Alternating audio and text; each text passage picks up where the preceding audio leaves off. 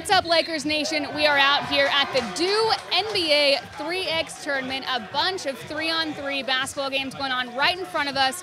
We're here with Jordan Clarkson, and you know, pickup ball is, is a big part of life growing up, right? What was pickup basketball like for you? Um, just a bunch of us getting a ball and going to the outside courts, playing, having fun, uh, talking trash. That was that was it, man. And you know that's kind of where it all started for me. I ain't really getting to like organized basketball till I was like in the eighth, ninth grade. So playing outside on the outside courts, stuff like that is uh, kind of where it all started. So interesting for me is that most guys tell me not much actually translates from pickup ball to the NBA. What for you does translate? What doesn't? Um, I feel like my aggressiveness and the way I play, my style of play, uh, scoring the ball, stuff like that. I think it all kind of translates over. So if you were out here right now today and you were playing, so it's you and you got two other guys to play in this three on three, who are you picking? You can pick anybody you want. Anybody I want? Uh, Shaq and Kobe. Okay. So if you are on the team today and you've got all your young Lakers with you and you got to pick two to bring home the trophy on the three and three team, you're going to choose. Zoe and Brandon. So you have been in the NBA for three years now. That's crazy. You're heading into your fourth year, okay? Yeah. well, you came in late second round pick. You're the one who's asking advice and kind of timid, right? What is it like for you now, man, to have these three years under your belt? Now these guys are looking at you.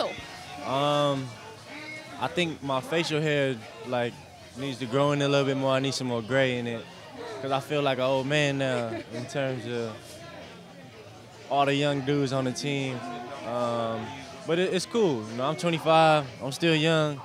Um, I'm able to talk, you know, vibe with everybody still. So it, it, I think it's so dope that we got a young team, and it makes us uh, definitely fun to watch. Uh, I feel like you you should have high expectations, and um, well, everybody should have high expectations for us because I think we could be that good. So in your time here, yeah, it's been three years, heading into your fourth, but you've already seen different coaches. You guys are now playing a different style. You've got a new training facility with a new vibe. So what is it like now for you walking in? What's that culture like? Um, I think we're kind of like figuring that out. It's like a young, new, like urban kind of culture. You know, with Magic coming in, him being so open with everybody. You know, just everything is just brand new, and it's a, definitely a good feeling. Feel like home, to be honest with you. I walked in there the other day.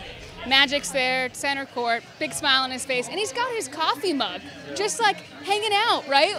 What is it like to have him watching over practice right there and, and being able to give you guys tips mid practice? Um, I think it's great.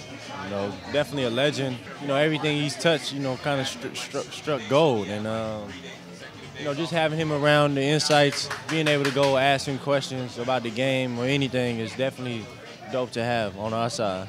Even more pressure having him. I mean, I know obviously you, you got to impress the coaches, you got to impress your teammates, but I can imagine I would feel even more pressure knowing that he was right there. You really can't screw it up in practice. Yeah, yeah. Nah, it's uh, I don't think it's no pressure, but you definitely wanna wanna do good. It's like almost having like he like the Godfather. It's almost having like your uncle come to the game and you know uh, coming to watch you play. You know you want to put on the show for him. So if Magic's the Godfather, what does that make Luke?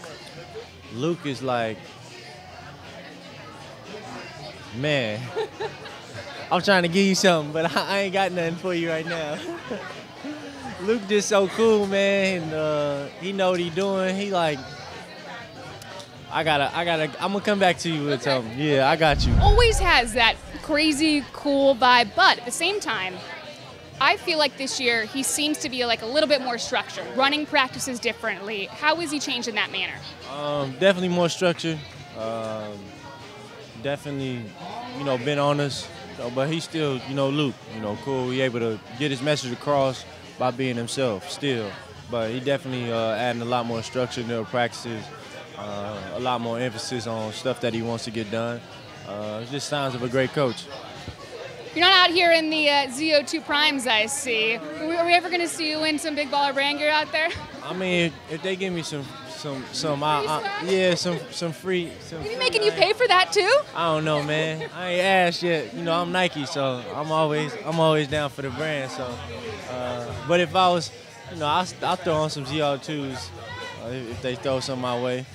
Crazy to me that he's still a teenager. We're talking about Lonzo Ball, not even 20 years old yet. But it seems to me like he hasn't skipped a beat from college going to the NBA. It seems like he's getting you guys the ball in the, in the right places where you want him. Is it kind of surprising that for a guy that hasn't played an NBA game except preseason that he's able to do this? um, no, I don't think so. You know, he's he's kind of been doing it, you know, since college, since high school. Um, that style of play, you know, he's just making the right plays. Really good at making the right plays, making the right reads. That's tough for, you know, a lot of people to pick up, but for him playing that position, his height, his ability to, you know, do that is definitely rubbing off on a lot of us, and uh, it was definitely fun to play with. Well, I know, and Lakers Nation knows that Magic has given you that Six Man of the Year challenge, but I'm sure that you, Magic aside, have your own challenges for yourself, right? And things that you want to accomplish. Like we said, heading into your fourth year, 25, that's a big year for you in the NBA. So, so what are those those points? What are those things that, that you're challenging yourself with this year? Um, to be honest with you, my biggest challenge is to myself is just go out there and impact the game. Become more consistent. You know, score for us. Uh, just get better in, in all all the categories. You know, rebounding, steals, assists. Kind of doing that. You know, I feel like last year was kind of a weird year for me, just in terms of figuring out my role. Uh, but this year, having that, um, you know, kind of, kind of like structured there, where knowing that's what I'm gonna be, six man coming off the bench, running with that second unit. It all kind of, uh, it, it kind of gives me a little bit more comfortability. All right, last thing for you because we need to go watch this three-on-three tournament. We got a lot going on over here. But Rob Pelinka said that one guarantee he can give to the Lakers fans is that it is going to be entertaining and fun for fans to come out every single night and watch. Do you agree with that? Yeah, nah, for sure. Definitely the style of play that we about to play. Um, all the guys we got, and you get to see my pretty face. It's definitely gonna be. It's fun. It's gonna be fun. It's exciting. All right, we're to get back out here and watch them three and three. Thanks, Jordan.